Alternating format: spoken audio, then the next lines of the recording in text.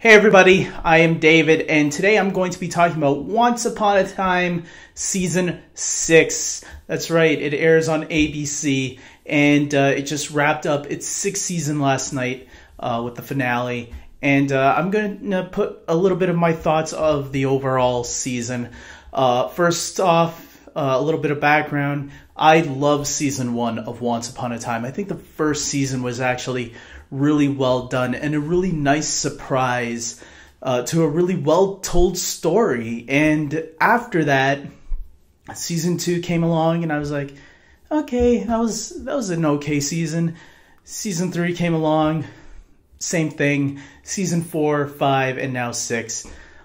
Well, six I'm gonna get to, but as you can tell, there's a pattern going on here. After season one, I never felt the show was really the same as good as it was back in season one. I really did think season one was a really well crafted season.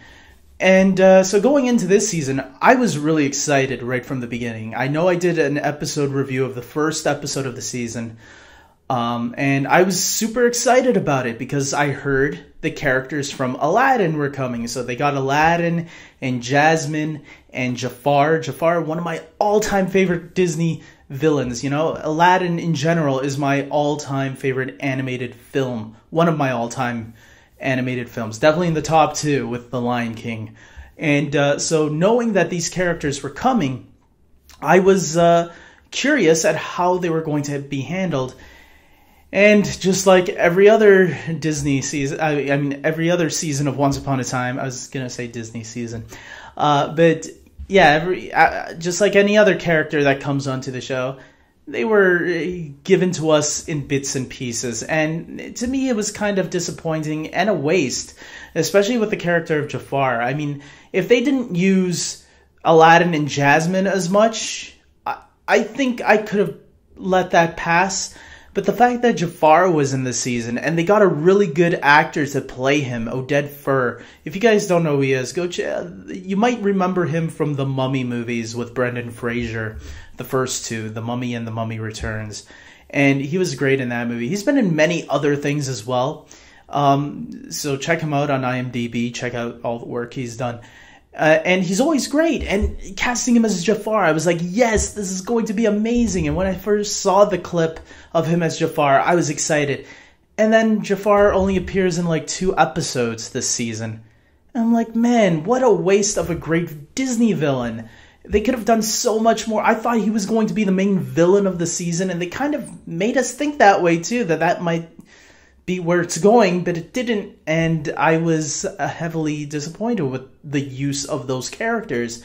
Uh, you know, especially with the way they used uh, other characters on the show, like the Frozen characters back in season four, I think it was, uh, or the Peter Pan characters. Uh, Peter Pan himself was in the first half of season three. The Wizard of Oz played a big part in uh, also season three. Um, and then we even got a, a group of villains, you know, uh, Cruella Vil and Ursula and Maleficent uh, at the end of season four.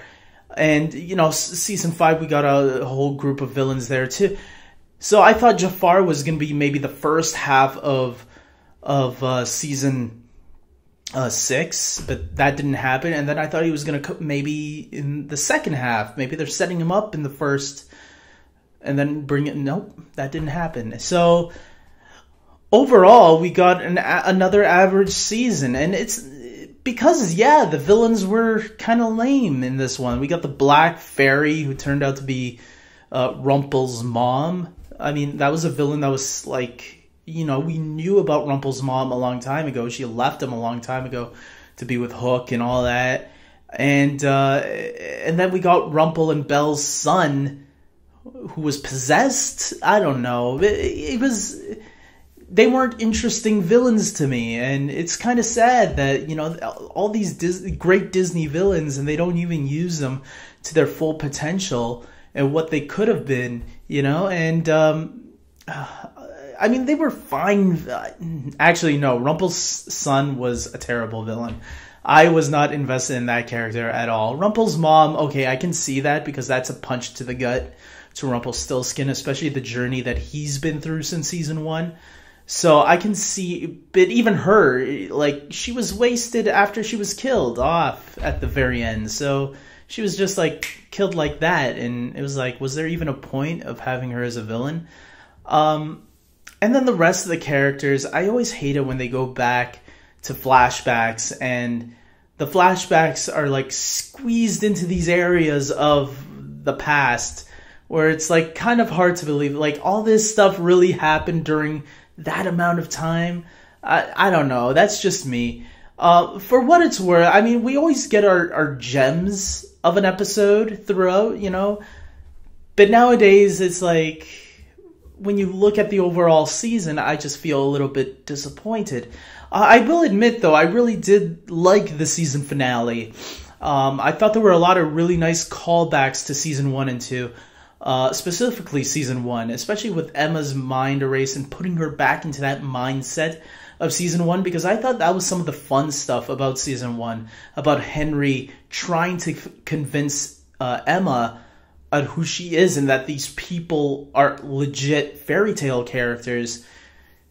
So I actually did think the finale was actually really nicely done. If this was the final episode of the series, I think I would have been okay with it. I was okay. That was a nice way to end it. You know, it was a satisfying ending.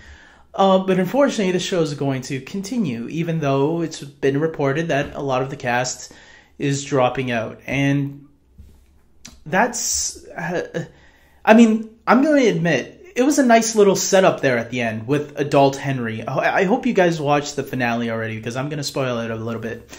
At the very end, you see adult Henry opening a door to a little girl who claims that she's Henry's daughter.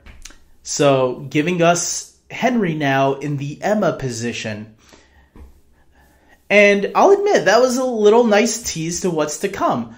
But unfortunately, I feel like I'm going to finally be dropping off at this point. Um, I wish the show success. I think it's going to do great still, hopefully. And, you know, I'm going to keep tabs on what people are saying about it because my plan is to still keep up with it uh, for season 7, except I'll be keeping up with it when it hits Blu ray.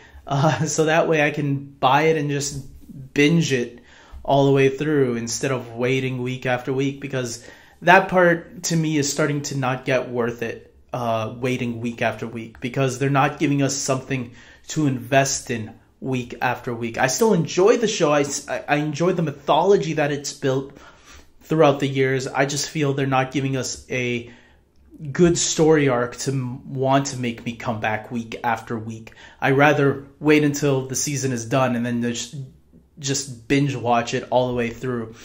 Um, that's just my feelings. I know a lot of other people are probably different from me, and they probably uh, still love season six just as much as season one. For me, the show just hasn't been the same since season one, and I feel like maybe the actors actually know it, and that's why they're dro- some of them are dropping out. I know some of them was the writers and the producers' intentions. That that's what I was reading from the producers that some of them were they were they had the intention of writing off, and then others was their intention, their own um, decision on jumping off ship.